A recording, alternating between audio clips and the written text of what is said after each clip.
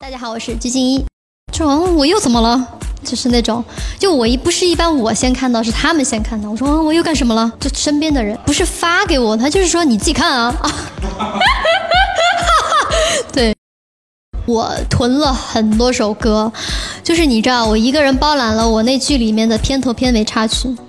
就是嗯，我就包揽了，就还有很多大家没有听到的，然后包括这段时间我也给别人的电视剧唱了歌，所以其实还有很多首歌还要等着大家听呢。